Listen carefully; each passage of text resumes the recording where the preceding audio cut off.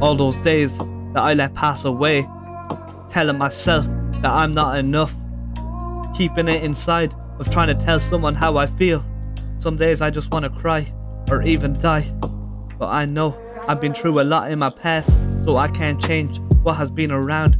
But fighting this disease is harder than you think. Losing some close people that really mean a lot to you. But I know you're not alone. A lot of people out there are finding it hard to open up. I know it's hard to get the right moment, but you are enough in every way. Don't throw it all away. You got a lot to live for.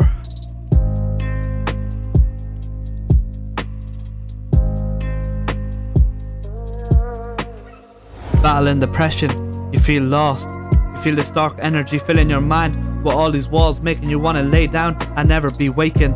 I feel this too much, even though we all have our problems. That's why it's free to see how someone is keeping. It's okay not to feel okay, but you never know what anyone is going through.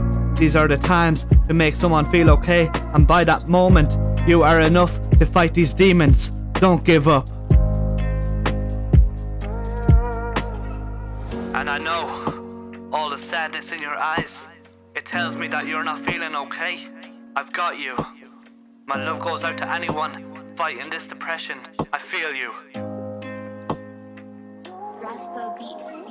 You're feeling tired and drained. You're finding it hard to communicate with the world. You're even lost in your mind. And you can't find the light of happiness. It's bringing a tear to the eye, saying, I wish I have lived my life without all these vices telling me I'm not good enough. These are the times I try put a smile on my face, but I can't because I've been hurt too many times. It's like a brick being thrown against the wall. It haunts me every time I think, but I feel like I'm losing it all. This is me talking from my heart. I want to share to you because I know that you're feeling low as I am.